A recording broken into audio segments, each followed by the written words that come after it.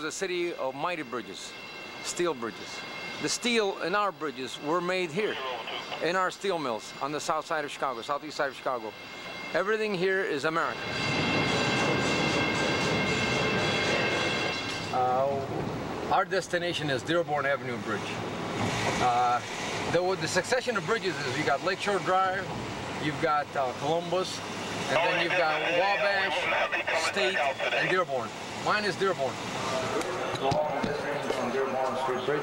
Please clear the bridge for your own safety and protection, ladies and gentlemen. Clear the bridge. Dearborn is going in the air. And stand behind the barriers for your own safety, ladies and gentlemen. And thank you for your cooperation. What are these dials here? This is um, this is let you know the power level. This is let you know how much power you're using mm -hmm. to uh, electrical power that you're using to raise the bridge. If you if you go too much, then the whole thing was shut down. Mm -hmm. uh, this is here is to let you know how high you are going. How high do the leaves go? They go up to 71, 71 feet. 71 feet. You know, we try not to raise it over seven. We try not to raise it over uh, 55.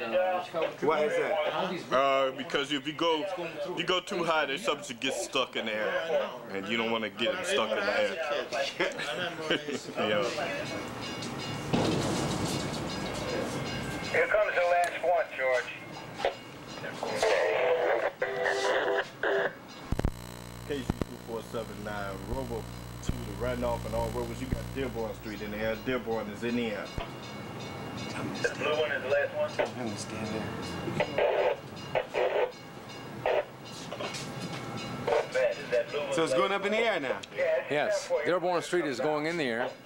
Uh, you see, uh, we open it up to uh, 45 to 55 degree angle. You can see, you can tell by the needles uh, on the dash uh, here. Uh, the bridge opens up to a certain position. And first of all, we have to open them up so that the mass of the boats can clear uh, the bridges. And then uh, the traffic will flow. Uh, now we have to eyeball, make sure that everything is safe down on the river. The city is built on top of the river. You know, so automatically, a lot of people don't believe this, but the river traffic has the right of way. You know, so no matter what, if, if they requested that we raise these bridges, we have to raise it because they have the right of way. A lot of people get upset over it. We have people that be trying to catch their train on Madison and Monroe, and they get totally upset when we have to raise the bridges, you know. But you try to explain it to them and tell them, well, look, there's nothing we can do about it because they have the right of way. You know, by law, by federal law, they have to say so. We don't have no say so. If they request that they want the bridge raised, we have to raise the bridge for them.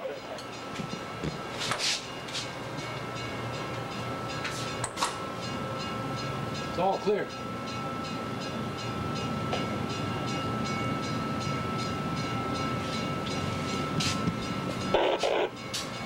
Now, my foots are standing on what we call emergency brakes.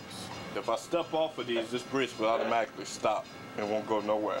I have to stand on these to make sure that the brake, the bridge will go down. Now stay clear of the gate until the bridge is settled and seated, and then we'll lift the bridge forward, please. But that's going to stay far from the gate. Thank you.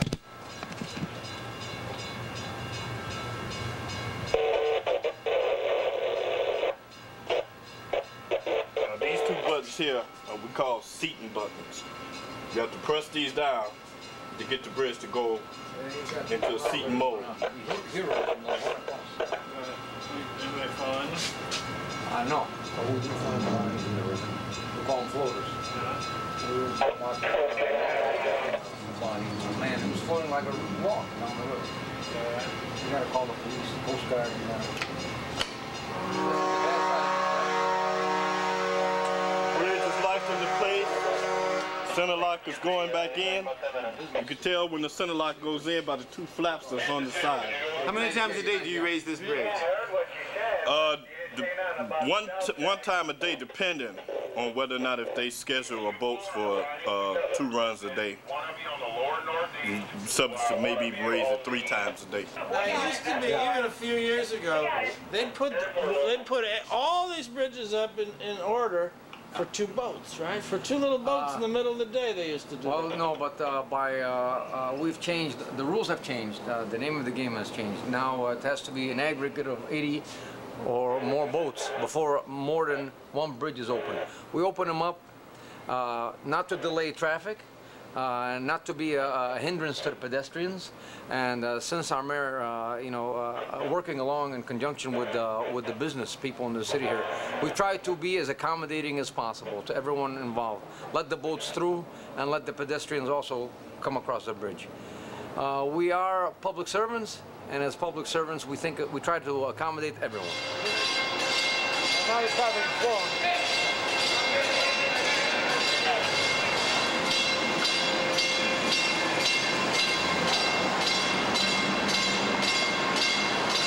No other city in the United States, I've traveled extensively in the United States, and no lakefront, no other city, including Canadian cities, has a lakefront like ours. The skyline is just beautiful.